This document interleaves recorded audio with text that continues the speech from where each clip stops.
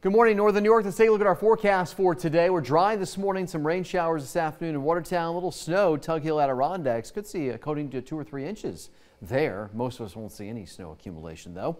A few evening snow flurries or a couple of snow showers, otherwise quiet little clearing. We fall back into the 20s uh, later on tonight.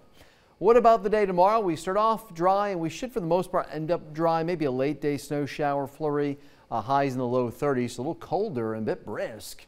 And then significant snow here develops on our Wednesday night, several inches. You can see four to eight inches, locally higher amounts. That goes to a wintry mix by Thursday morning. So it's snow, icy mix on Thursday. Light in nature though, but it's kind of slick and sloppy here. Later Wednesday night into Thursday, 20s Thursday.